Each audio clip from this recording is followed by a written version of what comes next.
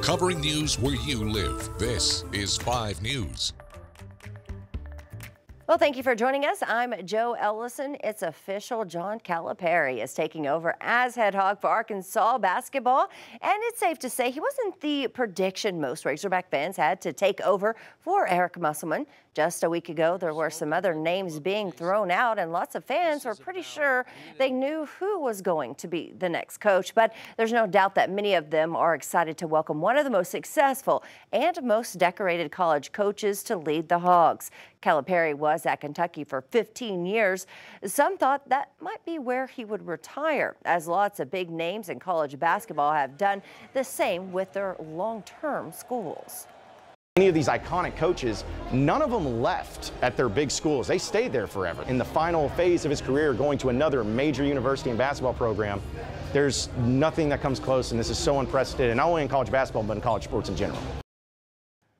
Well, Cal's journey to Bud Walton started back in 1988. He began his head coaching career at Massachusetts, where he was able to put together a Final Four run in 96. After a short stint in the NBA, he headed to Memphis, where he once again put together a Final Four run.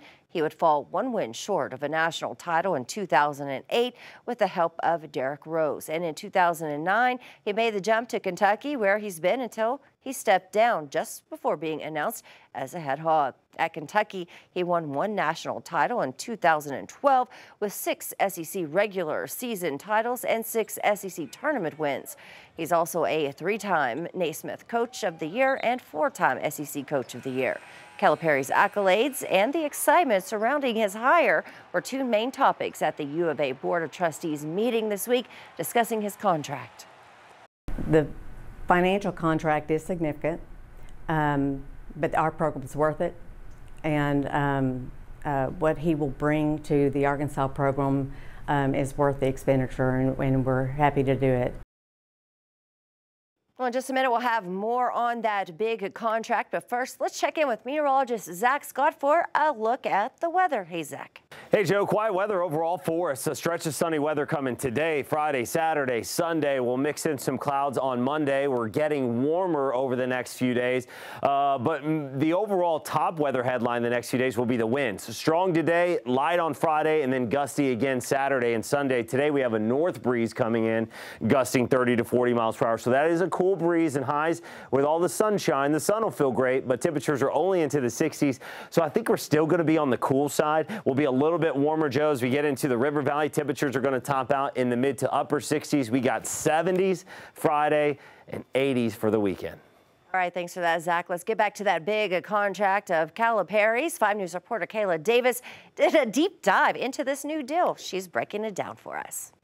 Ahead of the announcement of Calipari's arrival, the U of A Board of Trustees approved a resolution to increase his maximum salary. To validate approving the program's highest paid head basketball coach salary in history, the board went into detail on his lengthy resume. He's been to 24 NCAA tournaments, he's won a national championship, he's taken three separate schools, UMass, Memphis, and Kentucky, to Final Fours. He's been to the Final Four six times as a head coach, the Elite Eight six times, He's the three-time National Coach of the Year, and he was inducted into the Basketball Hall of Fame in 2015. According to Calipari's five-year contract, he will make roughly $7 million a year. That includes a $500,000 annual salary with an additional 6.5 million every year towards performance for speaking engagements, television and radio appearances, sponsorships, and any other media-related obligations. Calipari will receive a $1 million signing bonus. Additionally, he'll receive payment increases every time the team reaches certain goals. For example, $50,000 if the team goes to the NCAA tournament, all the way up to $500,000 if they win the championship. The contract is valid for two automatic rollover years if the team does make NCAA tournament appearances, possibly extending that contract to 2031. Benefits include 10 tickets to each home basketball game and 5 tickets to any Razorback home game of any sport. He'll also be loaned two cars that he will have to pay expenses to maintain, operate, and insure. Well, that That was Kayla Davis reporting. You can follow all of our coverage as Coach Cal's new team of Razorbacks begin to take shape on 5 Plus. It's free to download and you can stream all our newscasts live straight to your smart TV. Well, thank you for joining us here today for the latest news and weather where you live. Catch up with us again tomorrow right here for more.